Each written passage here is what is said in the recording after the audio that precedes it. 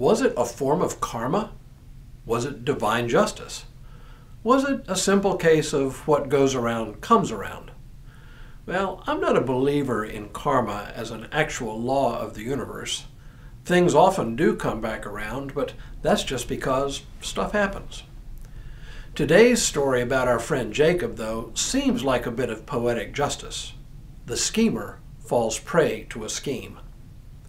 Hello, I'm Stuart Baskin, pastor of First Presbyterian Church of Tyler, Texas, and this is your daily devotional for Thursday, October 19th, 2023. When we left Jacob yesterday, he was on his way to Haran to find his mother Rebekah's brother Laban in hopes that he would find a wife from among his own people. Really, Rebekah had just schemed to get him out of town quickly before his brother Esau killed him for stealing his blessing. Having now arrived in the region of Haran, Jacob meets his cousin Rachel, the younger daughter of his uncle Laban. Rachel rushes off to tell her father that his sister's son has come to visit. Laban welcomes him into the household, and Jacob begins working for Laban. Eventually, Laban says to Jacob, Look, just because you're a relative doesn't mean you should work for nothing. And so he asks him what would be a fair bargain. Jacob asks for Rachel's hand in marriage. Laban agrees, setting a period of seven years after which they could marry. Now the drama begins. Jacob completes his seven years of work, then returns to Laban to ask once again for Rachel in marriage. That's where we pick up the story. Then Jacob said to Laban, Give me my wife, that I may go in to her, for my time is completed. So Laban gathered together all the people of the place and made a feast. But in the evening he took his daughter Leah and brought her to Jacob, and he went in to her. Laban gave his maid Zilpah to his daughter Leah to be her maid. When morning came, it was Leah. And Jacob said to Laban, What is this that you have done to me? Did I not serve you for Rachel? Why then have you deceived me?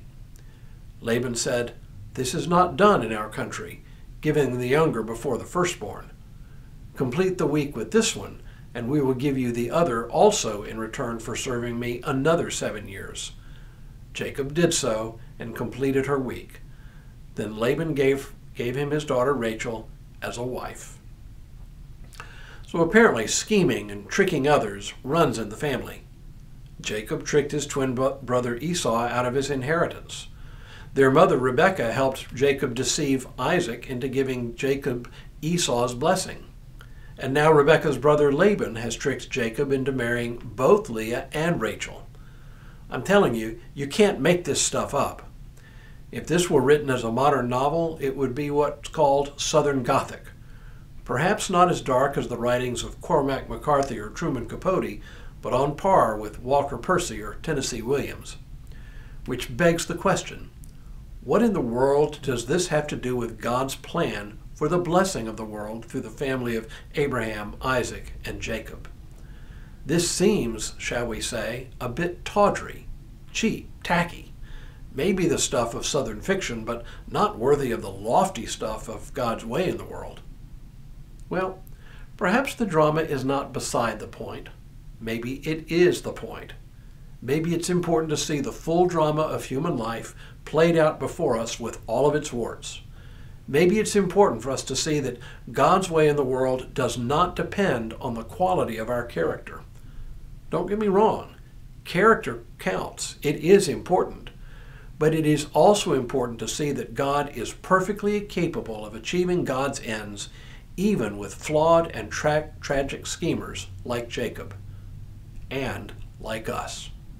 Think about it.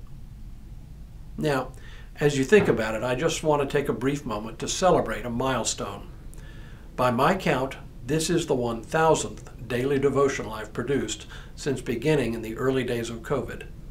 I thought I'd be doing this for a few weeks, maybe a couple of months at the outside. But your kind words, both by email and by text and in person, have sustained me throughout and have con- convinced me that this is a worthwhile thing to do. I don't think I'm reaching thousands or even hundreds, but the chance to reflect with you about important matters is important enough. and it's important enough, I think, to continue. So thank you for letting me into your home, your car, your office, or wherever it is that you watch or listen. Tomorrow, the schemer gets his revenge.